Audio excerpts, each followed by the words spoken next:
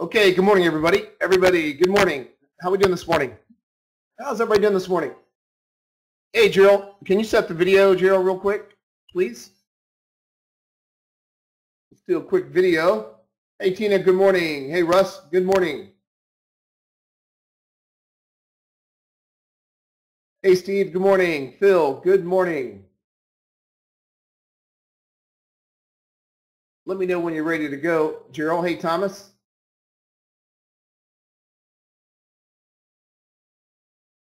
Hey, Sal, good morning. We're going to go over the algo uh, here in a few.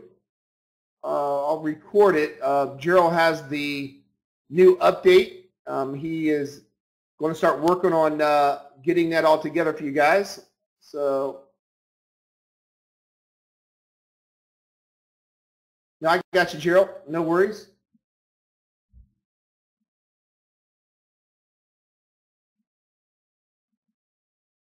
All right, so let's get, um, let's wait till we're ready here for Gerald. I want to record this. Okay, so let's take a look at it.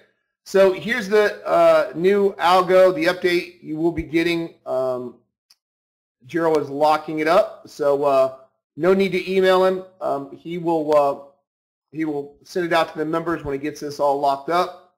So let's go over and take a look at it on the upgrade. Uh, what we're going to be getting with the um, with the upgrade. Uh, the upgrade is going to actually have the arrows that actually fire off when there is a trade or a possible buy or sell setup on any given market. Uh, this is an Uni Renko bar. Uh, you don't have to use an Uni Renko bar. You can use our own Renko bar. Works or any other time frame or any other Renko you want to use. But basically any time frame that you feel that uh, works well with the algo. Let's just go over uh, yesterday's trades a little bit. Uh, today we're setting up some trades already this morning on a buy setup as we speak. So let's take a look at uh, of, of what the new uh, update will entail. Um, we still have the ATR, the difference in the new update, the ATR is going to be a continuous ATR. What that means is if it is red, it is looking for sell setups only, and we will have a conference call for members only on this. So this will be for members only. We'll go over exact details. I'll give you exact uh, settings, exact time frames, and so on. I'll give you uh, preferences on targets, stops, etc. So we'll have that uh, uh, conference call. So I just want to go over the basics here with you today. But this is an Uni Renko bar. If the ATR is going to be continuous for 24 hours. So what that basically means is I, I got a trend filter and an ATR that's built into the system. If you have a red ATR, you are looking for sell setups, period. If you have a green ATR, we're looking for buy setups, period. When you get these WPTs, are these wrongly positioned trader boxes that come up against the overall trend, that's called a speed box. When you get these that pop up, you have a possible buy or sell setup. Now these arrows you have to worry about because they're automatically going to pop up automatically for you on any given qualified trade. So now we don't have to worry about the stochastic below anymore. That's the major upgrade that we did, or the, uh, the bottom oscillator. It's already built into the program. So no matter what time frame you use, a qualified trade will fire up with a red arrow for sells, a, a green arrow for buys. So we look at yesterday's action in the afternoon. Um, we had a red ATR going into the afternoon. And once these green speed boxes start printing, what happens is, is it'll wait for a qualified setup, and then it will fire a red arrow. Now we have a strategy attached to the indicator, meaning the strategy can be traded live if you find parameters that you do enjoy that's working well for you after you forward test it. We are back testing this uh, with uh, one of our members are going to assist us in back testing this up to 40 years over the last 40 years. So we will have that assisted uh, with you, and we appreciate that. Uh, one of our members, thank you so much. So um, I have already forward tested this, and now we'll be back testing this to give you additional results. But we will have uh, the zones that we prefer coming out to you. This is the preferred zone, my preferred zone uh, that is, is standard with all um, all the uh, members that will be getting it. And so when the simple, the simplicity of it is this, is that if you have a red ATR, if you get inside this preferred zone, now you can change the zones per any market that you want. I do have the code open to change the zones. But if you do get into my preferred zones, the market loves to reverse in this preferred zone. This is the S&P, the big contract. Uh, what it likes to do, it likes to come into this zone. If you see a green speed bar, opposite color of the ATR, then what you do is you'll watch for the arrow to fire, and that will be your overall entry as far as uh, a sell. Uh, that this is the educational entry for for a possible sell setup on the S&P. So you can see it caught that move and caught this move. Now, if you want all trades, I'll show you what to do. If you go into the indicator, and this is uh, the neat thing about this update, which we do not have with the previous updates. If I go to the indicator, my zone's 4938. That's my preferred zone. Um, my previous zone was uh, 48 uh, to 38, uh, uh, 45 to 30, 45 to 38. Uh, but by doing forward testing, this is my preferred zone as of right now for you guys. So I'll be getting this out to you.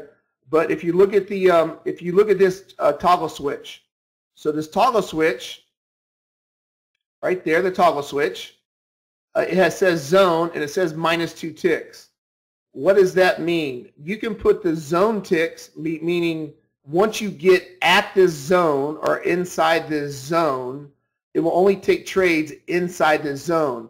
So it's not going to take any trades outside of this zone. Now, if you wanted to take trades with all WPT setups, catching the rolling position traders against overall trend, because those are what create major possible reversals, then all you have to do is unclick this zone like that. And when I hit uh, apply. Then what it's going to do is it's going to show you all arrow, uh, all WPTs no matter what. You can see it fired here, it fired here, it fired here, and it fired here. So now what you can do with the new program is you can only take zone trades, which totally increases your accuracy because you're only trading inside the zone. What it also does, it totally increases, uh, lowers your stop because your stop is two closes outside of the ATR. You should never violate the ATR by two closes. My, uh, my zones are very, very accurate. It should stay within the zone on a reversal. Obviously, this S&P sell was just absolutely beautiful yesterday, over 25 S&P points straight down on this uni, which we'll go over in the conference call. But what you can do now is you can actually, uh, you can only trade zones if you want to. So you go into the indicator, let me get that back out of the way, um, and you could trade zones. If I click zone, and we'll go over this, what the zone ticks mean, but so it can be so many ticks within the zone or inside of the zone, negative or positive ticks inside or outside the zone. So if I click zone and I apply it, then what that's going to do, it's only going to take my zone trades and it's going to ignore any any trades that's not inside my zone. Now I put negative two ticks because I want to try to get this sweet spot inside the zone. I don't even want it to touch the zone. I want it to get in here. All my trades inside the zone. And I'll go over that in the conference call for members. You can do positive tick zones, which is outside the zone by, let's say you want to go positive two ticks. It takes the lower zone, and positive two ticks will take all trades within there. So if I change this to positive two ticks, get out of the way, then it's going to take all trades within two ticks of that zone. And th that's how you can you can change your zone trading. Now you can see it took the it took the trade within two ticks of the zone right here. Or if you say, okay, I just want it right at the zone or higher, that means it has to at least close inside that lower zone. So what I can do then, that's why this update's really, really neat. A lot of versatility with it. And then what you can do is hit zero, and that means it's got to be actually inside actually of the zone. So you can see it hit inside the zone here and here, but it never qualified there because of the X ticks. So the X ticks works beautiful like that. And what it'll do, you'll come down another trade, and it will wait again. And you can see my ATR is continuous. It's red. It doesn't cut off. And now what it'll do, it'll wait for the green speed bars to come up. And when these speed bars come up, we know that's a high probability possible reversal. So when you get this high probability possible reversal, what we're going to do is the arrow will automatically come up. It's inside the zone, so it's not going to take trades outside the zone like this. Only takes zone trades, and it hits the zone for a trade setup, and that's another nice trade. The live field below that bar, 33 all the way down to 25, another 8 S&P points. This one was yesterday, was pretty huge, 50 and 3 quarters, and it got as low as, what, uh, 25. That's 25 possible S&P points. Then we come up to the zone again, and this is yesterday again. If there's my speed bars firing, speed bar, opposite color green. It gets inside my zone. This arrow automatically prints, and then you can see another nice reversal as far as that goes. So that's the beauty of this new update. Now, that's the indicator. Now, the indicator, uh, what I attached the indicator, another upgrade I did, is I attach the long alert and short alert, so it will make an audible alert. And you can change it whatever you want. You can make it beep. You can make it uh, whatever if you want to add your own audible alert. Um, I know some of you like to use submarine if the market's going down, like the submarine's diving, and then you like to use bullseyes if it goes uh, buys. Green would be bullseyes. You know, you can really do anything you want and put into the wave alert there. Um, I got it changed to five different waves you can change it to. You just go in there, change at the end the alert to uh, whatever you want, alert one, alert two, just change the number right there, and it will beep really loud when the arrow fires. The alert will only fire, here's the new upgrade, here's the neat thing about it, it will only fire when the arrow fires. So you can have several multiple markets trading that you find with parameters, and you only fire when a trade setup is occurring. Okay, so I thought that was neat too, so uh, I added the alert in. But it's very simplistic. Um, I did add a trend filter into this an uh, Unibar uh, a trend filter. So there's a trend filter built in. You can change your speed period, your speed candles. Uh, your ATR link, I made it very simple. Two ATR links. There's your zone ticks, and there's your long alert. Very simple. Now, what you can do, like I said, is you can run the strategy off this. Now, you will have to sign the disclaimer, everybody. Obviously, uh, strategy trading um, is uh, very aggressive. If you just strategy, let the computer strategy trade for you. So there will be a obviously disclaimer you have to know about the risk involved if you let the strategy enter for you. But that is now available. Uh, the strategy does exactly where the indicator fires the arrow. It will fire exactly where that arrow fires. So now there's not going to be any, well, when does a uh, strategy fire? Uh, does fire here? Does it fire there? There's no, you know, uh, guessing. If you see the indicator firing, the strategy should fire also. So if I go to the strategy then, if I go in here into the strategy, let me got it in here already. So if I go to strategy and I turn, uh, let's take a look at the strategy. So the strategy, the same thing. I made it exactly the same to make it easy, very simple uh, for, for you guys and gals. I've made it exactly like, like the indicator. So now it's very transparent, very easy to understand. There's your trend filter up top, speed period. As you can see, it looks just like, exactly like the indicator. Okay, so you just, uh, there's my uh, ATRs, exactly the same. Uh, uh, there's my DS in there. I got it built into the program already. It will only look for deeper retracements. It won't take shallow retracements. So I got that built in. You don't even need to program that in there anymore. There's my zone. I got it checked for zone. You have your start time and your stop time. There's your zone ticks. I have it programmed for negative two ticks inside the zone, taking trades only. Uh, but then I got four targets. Now, a lot of you guys will, will probably want to try to run the, uh, the minis at first, if you start trading, uh, find parameters that you like, or if you like the parameters I have, um, uh, you probably want to try to start, if you do trade live monies with this, then obviously uh, micros are one-tenth of the big contracts on these contracts. We have tons of micros out there. They even have Bitcoin micros, for goodness sakes. So um, if you do want to do that, I have four uh, contract sizes, target one through target four. How this is going to work, uh, start time, stop time, your trade size is one. That means it's going to take one, two, three, four contracts short or long. Uh, after the first target hits, it's going to be break even plus one no matter what. It automatically does it for you. And then after target one hits, uh, then it will go for target two. When target two hits, the stop will be moved up automatically to target one. When target three hits, the stop automatically moves up to target two. And then when it tries to go for that extra long target, it trails by uh, 10 ticks trail. All right. So this is a longer term. Your stop tick, your stops can. This is a more of a position trade, longer term uni. Um, your stops can range from 12 as high as 35 ticks is what I found. You don't need to go higher higher than 35. I wouldn't go higher than a 35 uni Renko bar. This works all the way up to a 35 uni Renko bar very well. Um, I wouldn't go lower than maybe a 5 or an 8 uni Renko bar uh, that I'll show you in the conference call. So your stops will be determined on your on your size that you want to use uh, on your uh, uni. I have an 18. Uh, uh, I like using the 18, but you can go 25 up to a 35 Renko bar. You can use a 13. So you can adjust your stop according to the uni bar or the Renko bar or wherever you want to use. Anywhere from 12 to 35 depending on the bar size.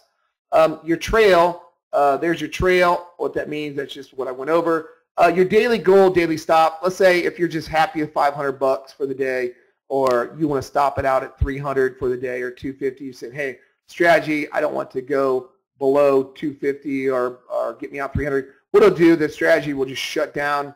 Um, once it shuts down, uh, no trades will take place from there. So that's what daily goal, daily stop is. I just keep them in the same, so it just runs all day uh, when you guys test it. So if you turn the strategy on, you'll notice uh, what it will do is it will take the same exact trades.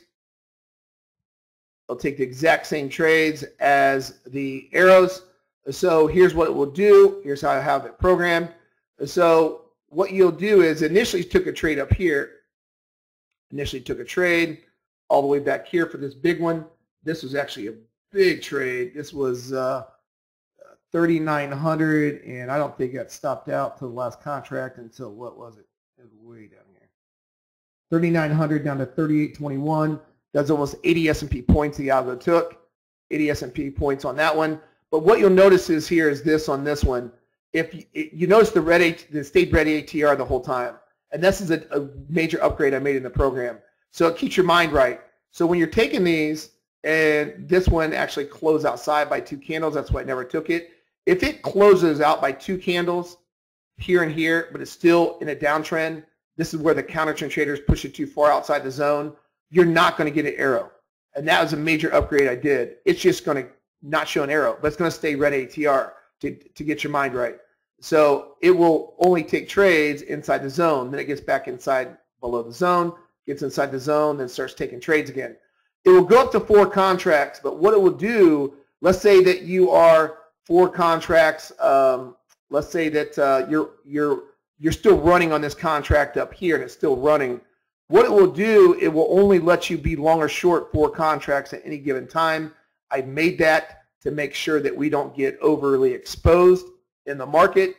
Uh, so what you can do, what it does, you can see it took just three contracts short here. The reason being, it's only four max at any given time. I don't care if you do micros, and I don't care if you do big contracts. It's only going to take a max of four contracts. So it was already short on that 80 possible short up here from yesterday at 11 o'clock. So you can see it took out target one, target two, target three, but my last target's a thousand ticks. It's going to keep running, running, running, running, running until the trail stops out. So what it will do is, is once it takes another trade, what it'll do instead of taking four contracts short, it will take three contracts short because I still have one running. And that's just so we don't get overly exposed into the market. And then it'll keep taking trades every single time up to four contracts as far as that goes. So that's the, the indicator and the strategy. If you notice that what they'll do is they'll work together. Uh, they'll work together and fire the arrows automatically for you uh, now, which is nice. Uh, and then, like I said, the code is open for the indicator and the strategy, so you can change your parameters. I'll show you how to do that to fit whatever market that you want to fit to. Some of you will want, want to like a, a longer uni. Some of you like a shorter uni. Um, I like the longer unis uh, because the uh, they work quite well. And then when you go into it, let's say that um, you know we go into it. Uh, let's see, hold on one sec. Now let me show you the mic, Gerald. Hold on one second, and I'll show you. I'll show you real quick, guys.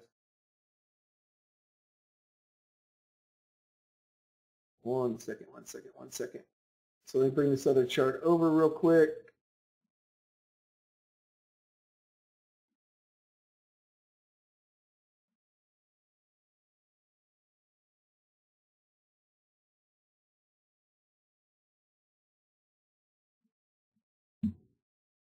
So if you want to do Renko bars, you can do, uh, instead of Uni bars, you can do Renko bars also.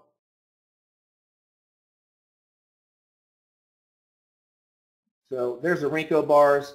I mean, you see the trades are pretty much still the same as inside the zone, but this is a five sim Renko. This is a Uni Renko bar, right? There's an Uni Renko bar, I'll show you how to do that, but you can do this in the, um, you can also do the uh, Renko bar that we have also. This is a five sim Renko. Oh, that's eight sim Renko, I'm sorry, eight sim, but it works with a five sim also. I'll show you the five sim. And then the five sim, you can do that also as far as you want to do that.